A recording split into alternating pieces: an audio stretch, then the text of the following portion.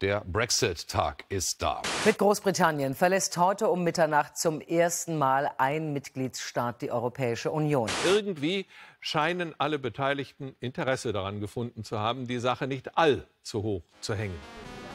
Der historische Augenblick ist gekommen. Der Symbolik wollte man in der EU jedoch nicht allzu viel Raum geben. Nicht wie angekündigt, Schlag Mitternacht wurde der Union Jack eingeholt. Nein, schon Stunden zuvor tauschte man die britische gegen die EU-Flagge aus. Die Medien in Brüssel berichteten dennoch bis tief in die Nacht über den Austritt der Briten. Dies ist ein Blick hinter die Kameras. Bleibt es bei 34, wenn, wir zu, wenn ihr zu uns kommt oder wann? Schon die ganze Woche über steht Christoph Nüse in Brüssel parat. 34. Okay. Schaltgespräche, Interviews, Beiträge. Für Phoenix gehört die EU zum Programm. Das ist immer ganz gut, wenn der Chef vom Dienst in Bonn dann weiß, der Reporter steht da, alles ist bereit. Haken dran zum nächsten Thema. Ne? Und in Brüssel begrüße ich jetzt meinen Kollegen Christoph Nüse. Merkt man denn in Brüssel, dass das heute ein historischer Tag für uns alle ist? Nun, ein besonderer Tag, ein historischer Tag, das ist es, das merkt man auch. Man merkt zum Beispiel daran, dass ja heute die Abgeordneten wirklich ihr Büro besenrein, sage ich mal, übergeben müssen und das tun sie. Berichterstattung bis tief in die Nacht, das kann ein Reporter alleine nicht leisten. Für die Spätschicht reist deshalb Michael Krohns aus Bonn an. Einstimmung auf die Zeremonie am Abend. Da vorne, das ist die einzige Fahne, von der ich weiß, weil vor der Kommission, da hängt keine ja. Fahne mehr. Ne? Ja, das ist die, die abkommt. Das ist die, genau. Ja, Deswegen steht ja hier auch schon so ein Pavillon, die wird schon bewacht, weil die ja Angst haben, Meinst das du, die warten auf das Abhängen? Ja, ja, ja die, haben, die haben Angst, das zu verpassen, weil das Parlament wollte das ja nicht wirklich offiziell machen. Ach so. Ne, die wollten das ja eigentlich eher unter der Hand. Aber die waren ja schon kurz vor dem Austritt, schon seit langer Zeit. Und deswegen hat man die sowieso schon nach außen gehängt, weil die, sagt, die sind als Erste draußen. Ja, ja. Der erste Hinweis beginnt mit der Runde, die dankenswerterweise zwei Minuten ähm, früher für uns aufhört, damit wir auch ein kurzes Update geben können zum Impeachment. Das Amtsenthebungsverfahren gegen US-Präsident Trump kommt zeitgleich zum Brexit in seine entscheidende Phase. Jenny Wagner muss wieder einmal viele Themen unter einen Hut bringen. Sie ist am heutigen Abend Ansprechpartnerin für alle Gewerke bei Phoenix in Bonn, Chefin vom Dienst. Ähm, ab 23 Uhr haben wir ja dann ähm, großes Thema Brexit mit Boris Johnson Rede. Mhm. Die würden wir auf jeden Fall zeigen. Ja. Ich weiß aber jetzt noch nicht in welchem Ausmaß. Mhm. Und dann gucken wir, was die BBC überhaupt anbietet, weil wir dürfen da auch nicht alles also, übernehmen, so ohne weiteres. Mir ging es darum, ob sie die BBC irgendwann direkt übernehmen oder nicht, nur dass man sich darauf einstellen kann. Ne? Ist das wegen, warum müssen Sie das äh, wissen? Ja, weil die ja immer sehr schnell reden. Das ist ja ah, ähnlich okay. wie bei dieser Wahlnacht immer in den USA, wenn man auf die Sender schaltet. Ja, dass okay. Man sich da ein bisschen drauf einstellt, weil die ja nicht irgendwie reden und darauf warten, dass sie verdolmetscht werden. Alles klar, nur damit für meinen Hinterkopf. Nee, alles gut. Besprechung in Bonn, Besprechung in Brüssel. Das Team muss das Programm noch mit der Redaktion abklären. Dort werden die Sendungen für den Abend geplant. Was ist fertig? Was wird noch produziert? Ich wollte nur kurz euch durchgeben, wie die Planungen wären. Wer Ich schreibe Michael oder Christoph. Ja, also ich bin für die erste Sendung und Michael für die zweite Sendung. Und ich habe in der ersten Sendung, das weißt du wahrscheinlich, ich habe ja extra ein Interview mit Bernd Lange heute aufgenommen, was für morgen ist. Das ist auch schon fertig geschnitten und der SF Samstag.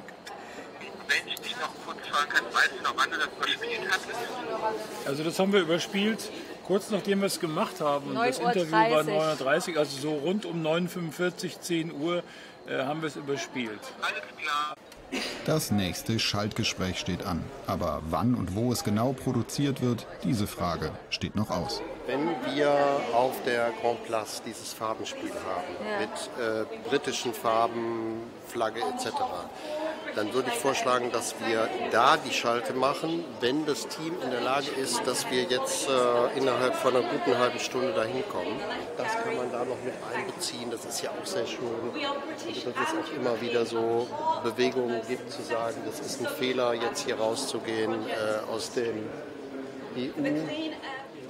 Zum großen Platz im Herzen der Stadt braucht man eine Weile. Der Brüsseler Verkehr ist unberechenbar. Lieber auf Nummer sicher gehen will daher Aufnahmeleiter Thomas Wichmann. Jetzt braucht er aber eine Entscheidung. Michael, ich brauche jetzt Zug, weil ich lasse gerade hier aufbauen. In einer Minute ja? ist die Sendung vorbei. Ich kann nicht in die Sendung anrufen und sagen. Ich möchte nur wissen, ob wir das hier machen oder ob wir weggehen. Das liegt aber daran, ob die mir sagen, ob wir um 19 Uhr das machen können, weil natürlich können wir zur Place fahren. Ich finde das vom Ambiente natürlich großartig.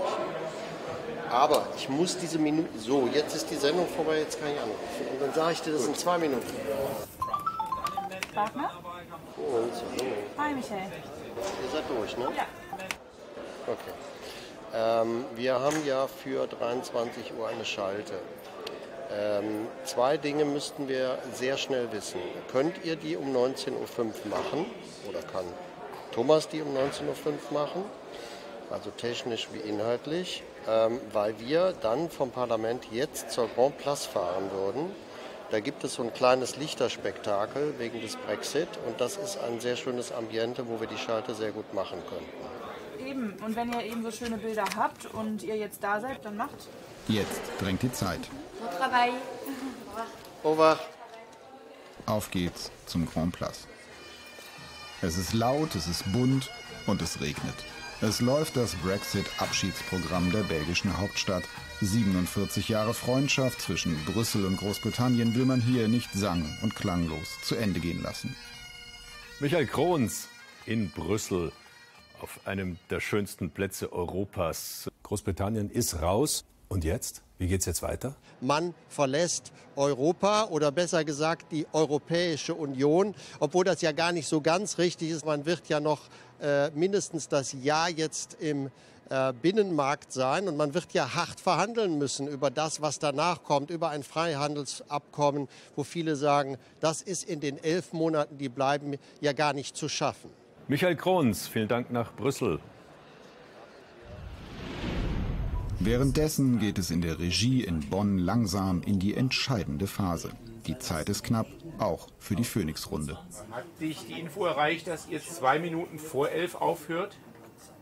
Also das heißt, ihr habt nur 28 Minuten Sendung? Ja, aber wir haben, wir haben schon, wir, wir hören pünktlich auf. Aber wir haben bei, acht, bei, acht, bei einer 30-Minuten-Sendung zwei Minuten früher aufzuhören, ist ein bisschen sehr kurz. Wir haben drei Gäste eingeflogen aus England. Wir hören pünktlich auf. Ja, also wir wollen halt gerne den Johnson live treffen. Das ist halt ist ja auch euer Thema der Sendung. Ich weiß nicht, zwei Ja, Minuten ja aber eine. Minute wäre auch ganz okay. Also es ist halt einfach blöd, ja. wenn wir den nicht treffen.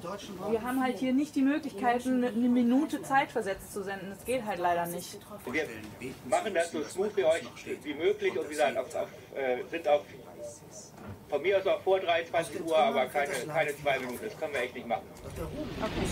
Ich würde gerne mit Ihnen mal fünf Minuten reden, damit wir das ganz äh, schnell klären, was wir machen können. Und Kommen Sie rein. Ja? Hier ist alles in Ordnung. Irina von Wiese ist britische Abgeordnete der Liberalen. Geboren in Köln mit deutschem und britischem Pass. Wir wollen sie begleiten an ihrem letzten Arbeitstag im EU-Parlament. Sie fahren jetzt nachher nach London zurück. Ich fahre nach London zurück. Ich habe heute Abend noch deutsche, französisches Fernsehen, Pressetermine äh, im Parliament Square und tatsächlich Ah, noch bis okay. Mitternacht François und Quatre. Also ich kann mit gutem Gewissen sagen, ich arbeite bis zur letzten Sekunde meines Mandates. Mhm. Aber es ist natürlich traurig, die Plattform hier zu verlieren. Okay. Dann würde ich Folgendes vorschlagen. Ähm, ich finde es hier im Büro nicht so toll wie da draußen auf dem Gang. Sie verstehen, der Stadtanzeiger macht ein anderes Interview als ich fürs Fernsehen. Ist schon klar. Ja, insofern äh, muss ich erst mal gucken, wo die Bilder sind. Weil so ein Schreibtisch könnte natürlich überall stehen. Könnte überall sein, ist ein bisschen langweilig. Ich habe auch nur eine Kiste. Und die habe ich jetzt schon dreimal ein und wieder ausgepackt. Warum? Naja, weil so viele Leute mich beim Einpacken Ach so, wollten. okay. okay. Die Reportage wird in Brüssel gedreht, muss in Bonn aber noch zusammengeschnitten werden. Schwierige Aufgabe per Telefon. Hallo David, Sabine hier. Ich habe den O-Ton, der von hinten gedreht ist, den habe ich jetzt doch kurz mit reingenommen. Ne, mit dem Arbeitslosengeld, weil ich muss das jetzt ja so machen, weil äh, die Texte sind ja jetzt vorgegeben. Das muss ja inhaltlich passen. Dann kommt ein Text, warte mal, ich muss das gerade nochmal wieder mich reinfrimmeln. bekommen. Auch wenn Irina von Wiese die britische Argumentation von einer bald boomenden Wirtschaft kennt, für sie liegen die Gründe für den Brexit eher in der Mentalität der Menschen auf der Insel. So, nach diesem Text soll, ist was für ein O-Ton geplant, weil da steht hier in diesem Ablauf nichts. Die Hälfte in Brüssel, die andere Hälfte in Bonn. Was man sonst eigentlich zusammen an einem Tisch macht. Ein Fernstück. Nach vielem Hin und Her ist er dann endlich gefunden, der richtige Ton. Die letzte Frage, nicht die zweite Frage. Die zweite Frage aus dem Schnitt. Oh. Ja, äh, äh, super. Hör mal, das ist so, du Chinesisch, ich Portugiesisch und wir machen Film. Am Ende sind es doch 30 Minuten für die Phoenix-Runde geworden. Und ab. Phoenix, der Tag. Guten Abend, willkommen zu Phoenix, der Tag. Egal, es kommt eh fast immer anders als gedacht. Wir nehmen die Live-Bilder auf der Pipe 5. Das Impeachment gegen Trump So, tschüss und vielen Dank nochmal für die 30 Minuten. ist Thema Nummer 1 in der Sendung. Erst danach die Rede von Boris Johnson. Das heißt für die Dolmetscher, sie müssen ständig zwischen amerikanischem und britischem Englisch wechseln. Lange Live-Strecken, wo man nie genau weiß, was als nächstes passiert.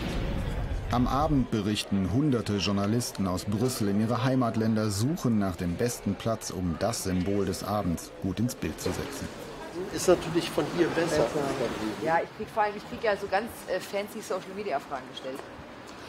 Ne? Also ich fange ja, ich, ich, ich reportiere am Anfang und dann stellt Ingo, dann sagt Ingo Zamperoni, ja, wir haben jetzt hier fantastische Fragen von Usern und dann beantwortet. Ach. Du Schande. Ich versuche das, ich versuche das. Okay. Ich weiß nicht, ob es klappt. Okay. Bis gleich. Sprachenwirrwarr um Mitternacht. Die meisten Reporter haben sich auf der Treppe platziert, obwohl, was die Fahne angeht, eigentlich schon alles vorbei ist. Ja, es geht einfach nur darum, dass ich am Anfang eben sagen möchte, dass da, wo jetzt die europäische Flagge hängt, neben der schwedischen, da war bis vorhin eben noch der Union Jack. Und ähm, dann kann ich näher kommen, wenn das hilft. 10 und Achtung, ich gebe dir einen ab, wenn ihr den Schwenk anfangt. Ja? Und ab. Und mein Kollege Michael Krohns steht auf diesem Platz. Und ich frage jetzt als erstes mal, welche Reaktionen in Brüssel haben Sie denn heute beobachten können? Äh, Wir haben eine Abgeordnete gefunden und das war ein schmerzvoller Abschied. Wir haben sie dabei, äh, dabei ein bisschen begleitet. Ab. Take care of yourselves. I'm so proud. Ähm, recht zügig zurückgehen, weil wir das Impeachment-Ergebnis verkünden müssen. Sie wirkt nach außen tough und pragmatisch. Doch die Juristin überwältigen beim Verlassen des Parlaments am Ende doch die Gefühle. Michel Barnier wird verhandeln mit den Briten und das, was jetzt kommt in den nächsten elf Monaten, das wird das Verhältnis entscheiden und das dürfte sehr, sehr schwierig werden. Michael Krohns, vielen Dank für den Augenblick und wir werden später ja noch mal Gelegenheit haben zu sprechen. Die Eilmeldung, die jetzt kommt, die unterbricht unsere Brexit-Berichterstattung und wie ich am Anfang der Sendung gesagt habe, es sind ja zwei Themen, die heute eine große Rolle spielen. Also wir sind deswegen früher raus, weil, äh, weil das Impeachment ist abgesagt. Das ist jetzt gerade als Eilmeldung durchgekommen. Michael für Jenny, die stand jetzt seid ihr um 42 dran. Mit der Schaltung. Après 3 minutes. 3 minutes. Environ de, à peu près de, de 10 minutes. On va continuer pour toute question. Michael Krohns, ist Brüssel denn willens und auch beweglich genug, um jetzt auf Wünsche Londons einzugehen oder steht man auf dem Standpunkt, raus ist raus? Quadratur des Kreises kann man dazu sagen, denn äh, im Grunde ist das, was schon seit Monaten diskutiert worden ist, nämlich die Frage, wie soll dieses Verhältnis aussehen? Sondern ihr seid jetzt ein Land, was freundschaftlich mit uns verbunden ist, aber ihr seid nicht mehr in der Europäischen Union. Michael Krohns in Brüssel, vielen Dank für die Einschätzungen. Was kann man am Schluss sagen? Was für eine Nacht.